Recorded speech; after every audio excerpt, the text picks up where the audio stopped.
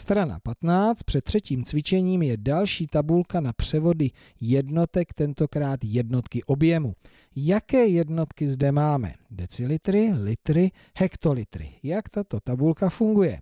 1 litr rovná se 10 decilitrů a obráceně 10 decilitrů rovná se 1 litr. Takže když z menších jednotek dělám větší, převádím na větší, dělím deseti, nulu škrtám.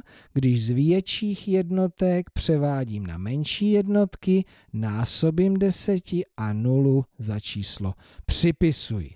1 hektolitr rovná se 100 litrů a obráceně 100 litrů rovná se 1 hektolitr, takže když z menších jednotek litrů převádím na hektolitry, dělím stem, nuly škrtám 2, stovka má dvě nuly, a obráceně, když z hektolitru převádím na litry, násobím stem, za číslo připisuji dvě nuly.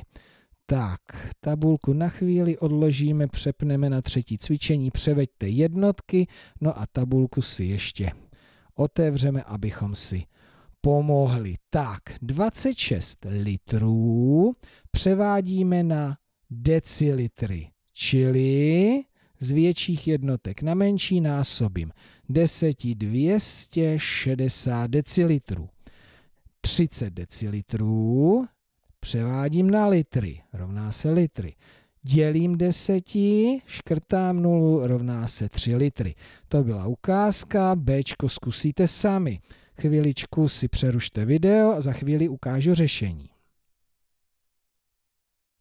Máte vypočítáno? Takže si podíváme na řešení. Tohle máme správně, jak jsme uvažovali tady. 200 litrů rovná se 2 hektolitry, protože dělím stem, dvě nuly jdou pryč. 9 hektolitrů na litry násobím stem, připsali jsme tady dvě nuly. Tak tohle skryjeme. No a další část cvičení si zase uděláte sami a přerušíte si video a já zase za chvíli ukážu řešení.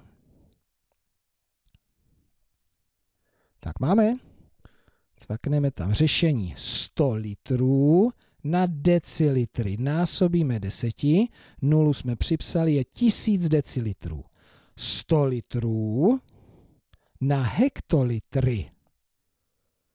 Takže to dělíme stem, dvě nuly pryč, rovná se 1 hektolitr a tohle je docela zajímavé.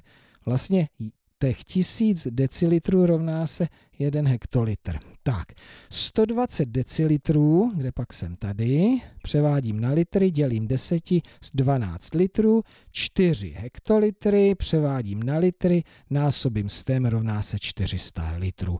Tak myslím, že jste se mohli začít pěkně orientovat v převodech, základních převodech jednotek objemu.